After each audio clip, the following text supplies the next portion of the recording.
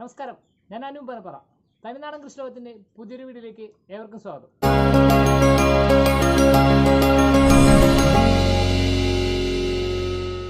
വീട്ടിലെ ആട് പ്രസവിച്ചു. പെൺകുട്ടിയാണ് ഒരു കുട്ടിയാണ്. അത് പറയാനാണ് ഇപ്പോൾ ഈ വീഡിയോ ചെയ്യുന്നത്.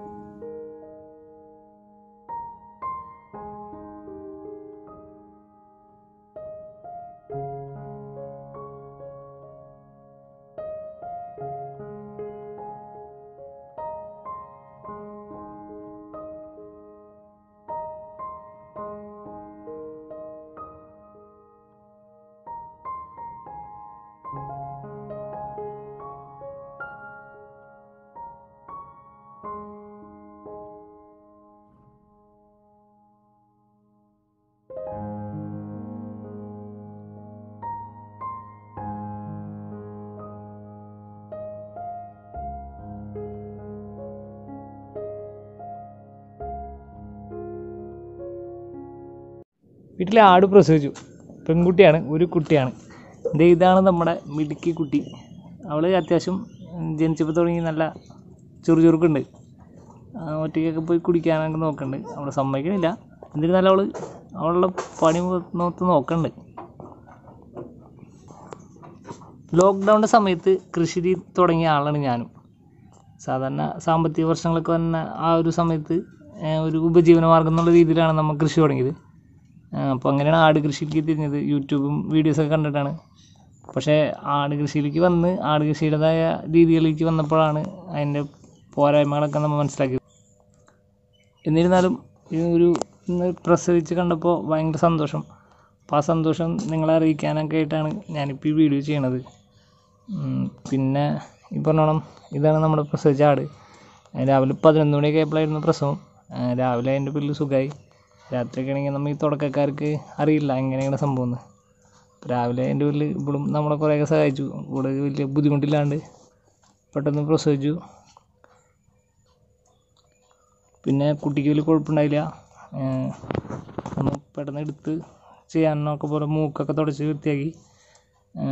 ഒരു അരമണിക്കൂർ പത്ത് പതിനഞ്ച് മിനിറ്റ് കഴിഞ്ഞപ്പോൾ നമ്മൾ പാൽ കുടിപ്പിച്ചു. പിന്നെ ഇപ്പോൾ ഒരു ഇവിടെ ഒരു രണ്ടര മണിക്കൂറൊക്കെ കഴിഞ്ഞപ്പോൾ അതിന്റെ മറുപടിയുള്ള സാധനങ്ങളൊക്കെ പുറത്ത് വിട്ടു അതിന്റെ ഇടയിൽ നമ്മൾ കട്ടൻ ചായയൊക്കെ കൊടുത്തിട്ടുണ്ടായിരുന്നു അങ്ങനത്തെ. നമ്മൾ യൂട്യൂബിൽ കാണുന്ന പോലെ എല്ലാ പരിപാടിയും ചെയ്തു. അപ്പം അങ്ങനെയൊക്കെ ആട് പ്രസവിച്ചിട്ടുണ്ട്. ഏതൊരു കൃഷി രീതിയും വിജയത്തിലേക്ക് എത്തുമ്പോഴാണല്ലോ നമുക്ക് അതിന്റെ ഒരു സന്തോഷം ഒക്കെ ഇതായിട്ട് അപ്പോൾ അതൊക്കെ നിങ്ങളൊന്ന് അറിയിക്കാൻ. ഒക്കെ ആയിട്ടാണ് ഇപ്പോൾ ഇങ്ങനെ വീഡിയോ ചെയ്തത്. നമുക്ക് മൂന്ന് ആടാണ് ഉള്ളത്. അതിലിപ്പോൾ ആദ്യത്തെ ആടാണ് പ്രസവിച്ചത്. ഈ ആടിന് ഇത് ഈ കാണുന്ന ആടിനെയും ഒന്നര മാസം ചെനാന്ന് പറഞ്ഞിട്ട് ഞാൻ വാങ്ങിച്ചതാണ്. പക്ഷേ അൺഫോർച്ചുനേറ്റ്ലി ഈ ആടിന് ചെന ഉണ്ടായിരുന്നില്ല. ഇവിടെ വന്ന് ഒരു മാസം കഴിഞ്ഞപ്പോൾ ഇവൾ മതി കാണിച്ചു.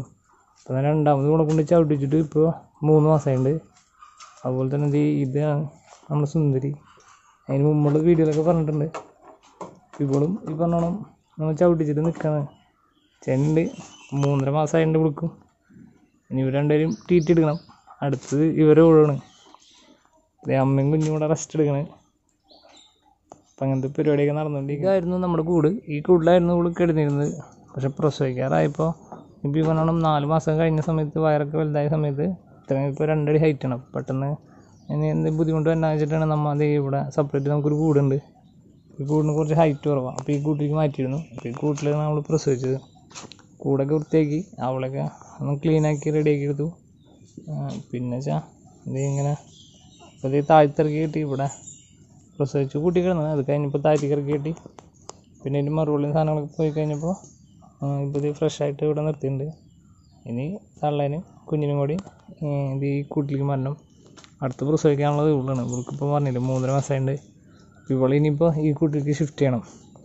ഇതിപ്പോൾ നമ്മുടെ ഒരു ലേബർ റൂം പോലെ ഉണ്ട് കംപ്ലീറ്റ് ആടുകൾ ഇതിനകത്തിട്ട് പ്രസവിപ്പിക്കുക എന്നുള്ള സെറ്റപ്പിൽ ചെയ്യണമെന്നാണ് അപ്പോൾ അങ്ങനെയൊക്കെ സെറ്റ് ചെയ്ത് വെച്ചേക്കണം.